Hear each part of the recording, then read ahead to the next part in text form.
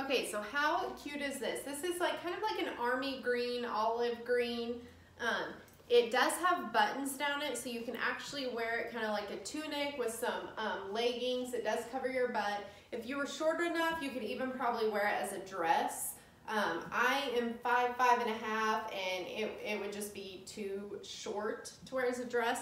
So I just unbuttoned it, and I would just kind of wear it like a duster. Um, but it has the pockets on the front, and then it has just a little bit of fringe detail on the sleeves, which I thought was really cute. Um, so again, you can keep it buttoned or unbuttoned it to wear kind of like a duster. Um, I'm wearing the small here. I would say they're pretty true to size. We have these in sizes small through large. Um, the small fits me. I've got room everywhere. I can easily button it if I want. So um, again, they are available in sizes small through large and they're true to size.